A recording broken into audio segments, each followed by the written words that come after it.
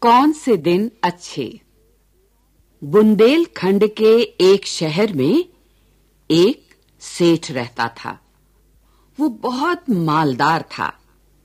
उसकी कई हवेलियाँ थीं। ज़मीन, जायदाद थी। उसके घर में हुन बरस रहा था। सेठ के चार बेटे थे। चारों खूबसूरत सजीले जवान अक्लमंद और दाना। जब बड़े बेटे की शादी हुई तो नगर सेठ ने दूरंदेशी का इम्तिहान लेने के लिए अपनी बहू से एक सवाल पूछा। बहू? जी पिताजी। ये बताओ कि कौन से दिन अच्छे होते हैं? बहू ने जवाब दिया पिताजी गर्मी के दिन बहुत अच्छे होते हैं। उस वक्त न सर्दी की परेशानी रहती है और न बरसात की कीचड़। दिन खस की टट्टी में कट जाता है। रात को बाहर सो सकते हैं। हम्म, बहुत अच्छा। ये कहकर नगर सेठ खामोश हो गया। लेकिन जब दूसरे बेटे की शादी हुई तो उसने नई बहू के सामने भी वही सवाल रखा। उसने जवाब दिया, पिताजी दिन तो बरसात के अच्छे होते हैं। हर तरफ़ हरियाली ही हरियाली होती है। और सावन में झूले डालकर झूलने का तो मज़ा ही निराला होता है। चढ़े हुए दरिया और नदी नाले देखकर दिल बाग बाग हो जाता है। अच्छा। सेठ उसकी ये बात सुनकर खामोश हो गया। लेकिन जब तीसरे बेटे की शादी हुई तो उसने अपनी उस बहू से भी यही सवाल किया। उसने कहा पिताजी दिन तो सर्दी के भले होते हैं। सर्दी हो तो गर्म कपड़े पहनकर जहाँ जी चाहे घूमो फिरो। मीठी मीठी धूप के मज़े लूटो और रात को नर्म बिस्तर में लिहाफ ओढ़कर सोया जा सकता है। इसलिए सर्दी के दिन बहुत अच्छे होते हैं। नगर सेठ बहू की बात सुनकर चुप हो गया। चंद माह बाद जब चौथे बेटे की शादी हुई और बहू घर आई तो सेठ ने यही सवाल छोटी बहू से भी किया। उसने बड़े इंकसार से जवाब दिया पिताजी दिन वही अच्छे होते हैं जो सुख से गुजर जाएँ। बहुत अच्छा बेटी। चौथी बहू का जवाब सुनकर नगर सेठ का चेहरा खिल उठा। तकदीर का खेल भी अजब होता है। कहीं धूप तो कहीं छांव।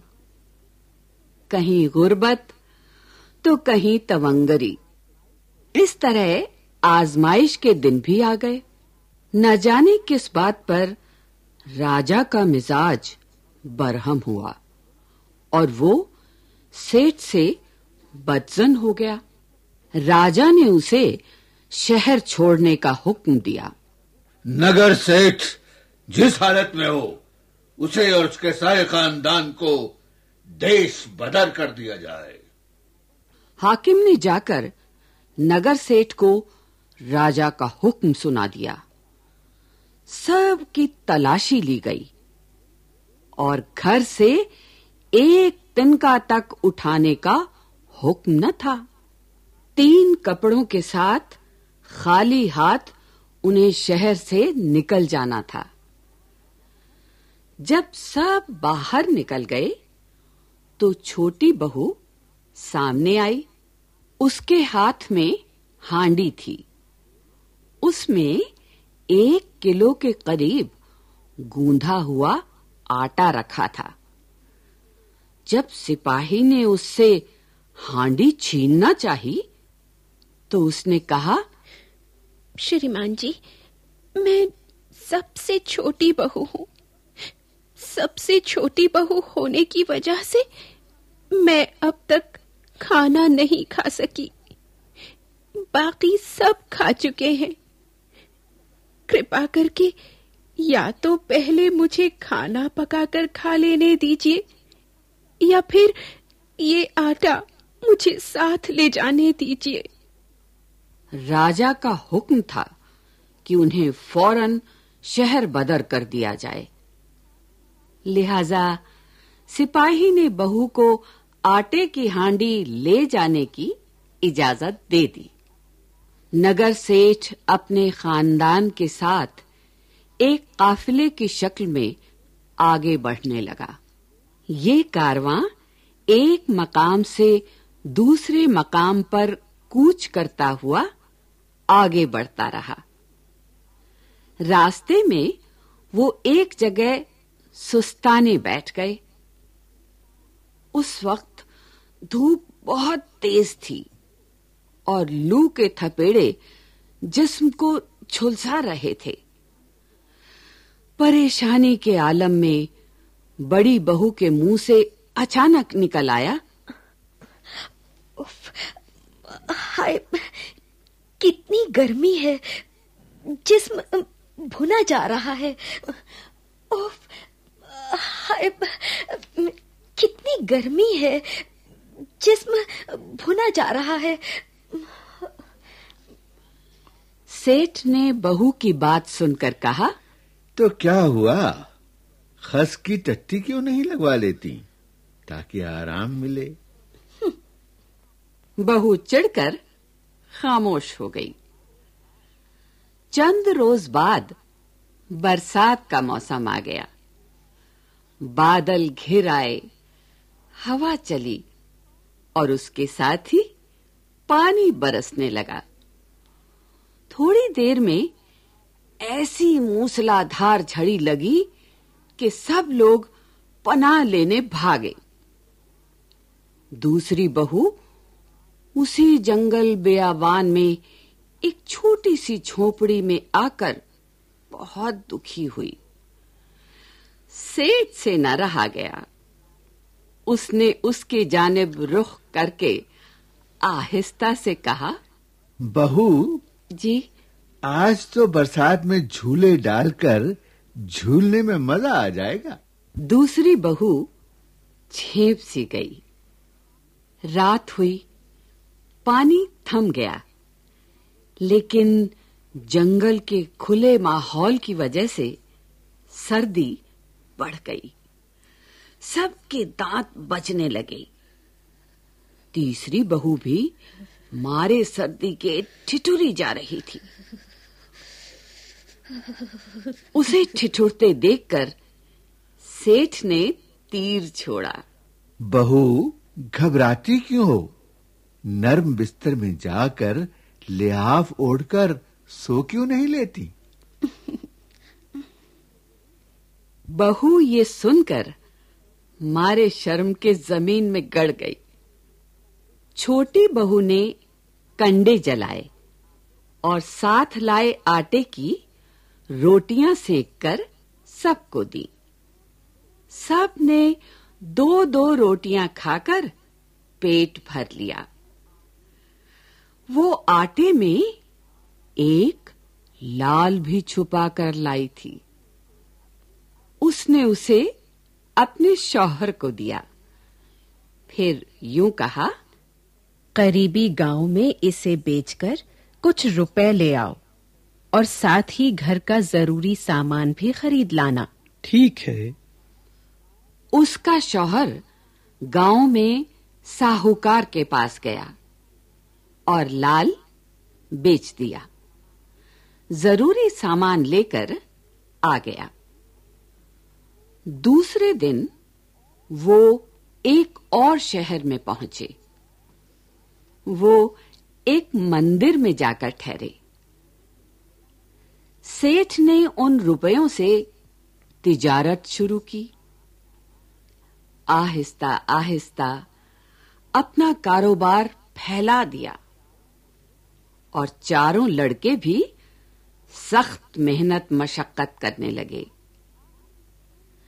आखिर चंद बरस बाद उसने वहाँ अपनी हवेली बना ली और देखते ही देखते वो उस शहर का भी बड़ा सेठ बन गया।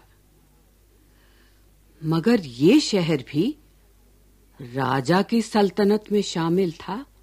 राजा को जब उसका इल्म हुआ तो वो उसकी हवेली के गिर्द चक्कर लगाने आया। उसने वहाँ कान लगाकर सुना सेठ का बड़ा लड़का कह रहा था मेरे लिए पान बनाकर लाओ जी।